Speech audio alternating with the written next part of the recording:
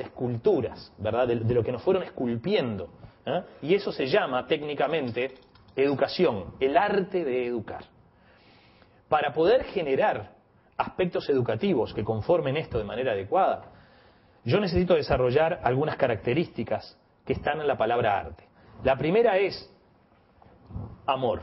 ¿eh? Sin amor no funciona esto. ¿Y qué quiere decir amor? Quiere decir habilitar para el amor, es decir, este, primero darles el amor que eso en general tenemos por nuestros hijos, pero además habilitarlos en el sentido de que en mi casa se puede hablar de afectos, se puede hablar de emociones y se pueda decir en la mesa, ¿ah? ¿sabes qué? No ando muy bien. Y si eso de chiquito, los chiquillos se acostumbran a escuchar este, palabras que tienen que ver con sentimientos, les es más fácil cuando son adolescentes de que seamos nosotros los primeros en enterarnos de que sus emociones negativas le están complicando la vida, y no los últimos. ¿ah? El amor tiene que ver con la atención. ¿ah? Es la segunda A. ¿ah? Atender a nuestros hijos implica ser público de ellos. Y eso lo vamos a ver con más profundidad en, eh, en la segunda parte. La R es de respeto respetar su individualidad. No son pedazos de nosotros, no son apéndices, son seres únicos, irrepetibles, creaciones totalmente originales, que realmente, si salieron lo más parecido a lo que yo me imaginaba, la verdad que tienen una parte del camino ganado, porque es más fácil educar a alguien para que se parezca a nosotros que para que se diferencie. Pero si salieron para el otro lado, ahí necesito ejercer el respeto, la aceptación honesta de que en realidad yo, la verdad que artistas en casa, no, prefiero verlos, digamos, actuar, no sé qué, pero que me salga un artista en casa, yo que soy ingeniero, me quiero morir. Pero, ¿sabes qué? Te quiero igual y bueno, y te voy a ayudar para que seas este, artista. Ahora, te voy a ayudar para que seas, para que hagas algo, esto quiere decir, no te puedo dejar, bueno, si vos en realidad naciste para ser libre y ser zángano, digamos, no. E, e, eso no, no hay que confundir.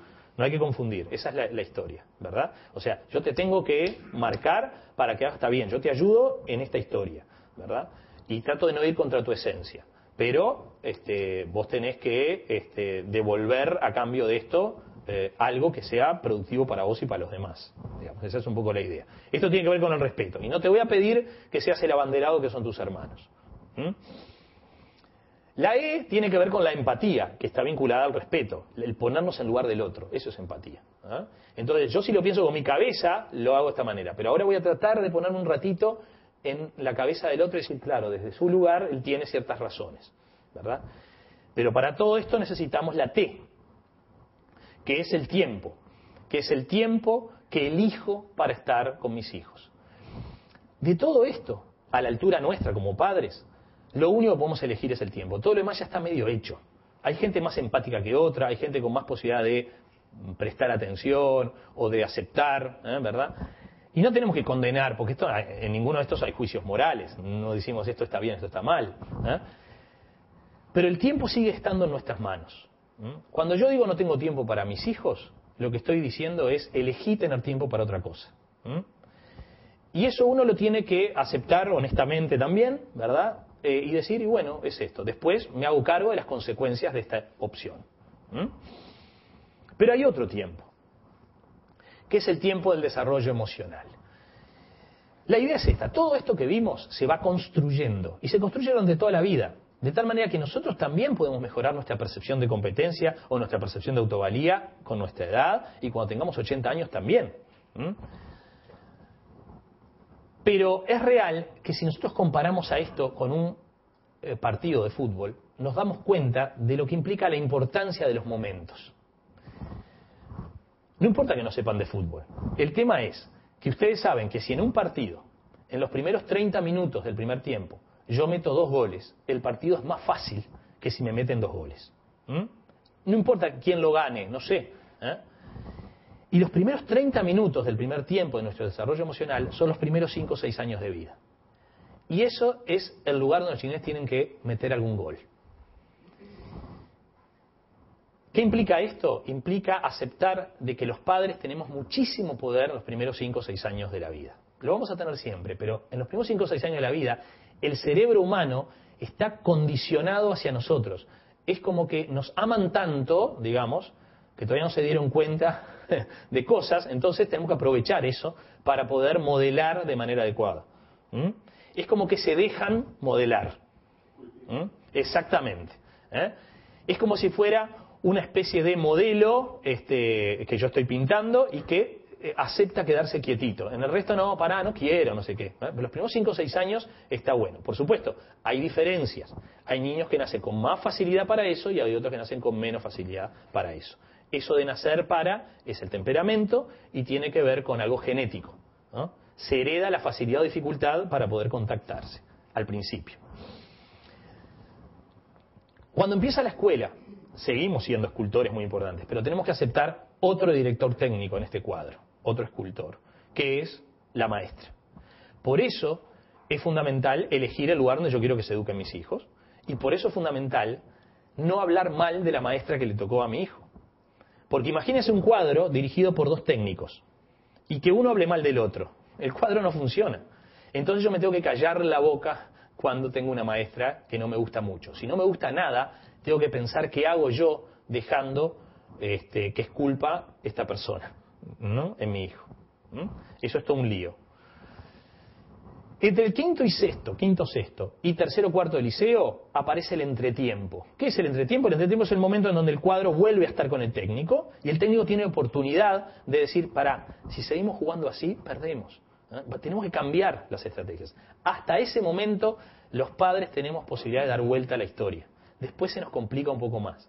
Porque entra el segundo tiempo, ahí ya no me puedo meter en la cancha, porque está ocupada, entre otras cosas, por otros técnicos muy importantes, que son los amigos de nuestros hijos y los pares modelan a nuestros hijos. Y a veces los salvan. Esto es, los amigos de nuestros hijos adolescentes son tan importantes que yo siempre digo, si yo tengo 15 segundos para saber si un adolescente anda bien, la única pregunta que hago es, ¿tenés amigos? Y me dice, no, no tengo. Bueno, un chiquilín de 15 y 16 años sin amigos es peligroso. Es peligroso. Su desarrollo emocional no está bien. Nosotros seguimos viviendo y los últimos 15 minutos del desarrollo emocional se dan, bueno, cuando nos vamos de casa. ¿ah? Y eso depende de cada uno. ¿ah? Eh, cuando dejamos de, depender, fíjense que se supone que ya estamos totalmente armados y nos quedan 15 minutos de un partido eh, en donde podemos seguir haciendo goles o que nos hagan goles, pero son 15 minutos, que para algunos serán 60 años y para otros serán menos o más, ¿verdad? O sea que nosotros estamos todavía esculpiéndonos. ¿eh? Y cuando uno recibe información o se forma para ser mejor padre, o mejor padre no, el padre mejor que pueda, ¿eh? un padre suficientemente bueno, que es la máxima nota que tenemos que pretender como padre, ¿verdad? También puede modificarse en su desarrollo eh, emocional. Y aceptar que nuestros hijos también son escultores nuestros, porque esa es la diferencia entre el escultor y su obra. Difícilmente eh, la escultura agarre y, agarre al escultor y lo esculpa, digamos, ¿no? Pero eh, esta es la gran diferencia en, eh, entre los seres humanos. Nos esculpimos mutuamente. y para eso hay que dejarse. Por eso es notable tratar de tener contacto con los chiquilines.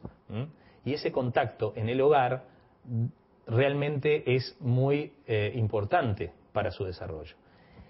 Por eso este curso se llama Padres e Hijos, un viaje de regreso a casa, porque ha habido un tema cultural que nos ha hecho alejarnos de casa incluso para la educación. Pensamos que la educación se va a dar básicamente en el, en el colegio en la escuela que elijamos para nuestros hijos. O sea, se va buscando afuera las cosas que tienen que estar adentro. Cuando yo digo volver a casa, ¿a qué me estoy refiriendo? Me estoy refiriendo básicamente a rearmarnos, esto es solamente un, un graffiti, un concurso de graffiti eh, hecho por un turco, sacó el segundo premio en un concurso este, que hicieron acá, ¿no? Este, con gente, digamos, de nivel internacional también. Y yo no creo que haya querido significar esto. A mí me encantó, pero acá no se sabe quién sostiene a quién. Y esto de repente es una terrible eh, metáfora, digamos, de lo que nos está pasando. Eh, Volver a casa implica volver a sentarnos en la mesa, volver a eh, poder contactarnos no a través de una pantalla, sino a través de el vibrar con el otro, de ver el brillo en los ojos del otro, de ver el aliento, de, sentir el aliento y de sentir al otro como parte de un grupo que me hace bien. Esa es la familia. Y entonces, a través de esa reunión, yo puedo seguir creciendo y ser mejor escultor para mis hijos. Hasta ahora es de desarrollo emocional. Y lo que hicimos fue decir, que un aspecto del desarrollo emocional es la autoestima. Es uno de los, eh, de los componentes de nuestro desarrollo emocional. Y una autoestima adecuada la definíamos como la percepción profunda de sentirnos valiosos por el mero hecho de ser humano al margen de nuestras competencias. ¿Está bien? Bien. Y esto se desarrollaba gracias al arte de educar. Ese es el resumen de lo que nosotros vimos. Ahora bien, como la autoestima es tan importante, tenemos que ver qué dice la ciencia respecto a la autoestima. Y eso se estudia a través de eh, lo que se llaman análisis epidemiológicos. Hace muchos años, un señor llamado Cooper Schmidt tomó alrededor de, quinto, de, de, 2.000 niños de quinto de escuela. Eh, fíjense que fue hace tanto tiempo ¿ah? eh, que este, estamos hablando del año 67. Eh, lo que hizo fue estudiar cuáles son los factores que hacen que una persona pueda tener más o menos autoestima. Todos los factores que nosotros analizamos salen no de Coopersmith, pero de otros estudios. Pero él analizó qué factores hacen que la autoestima se pueda sostener una vez que se eh, va